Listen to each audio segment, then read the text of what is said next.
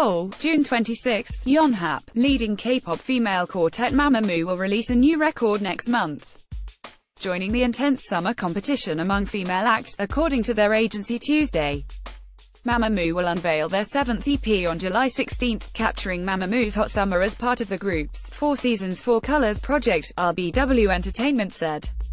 In March, the female group released the EP, Yellow Flower, the first of the four-part project.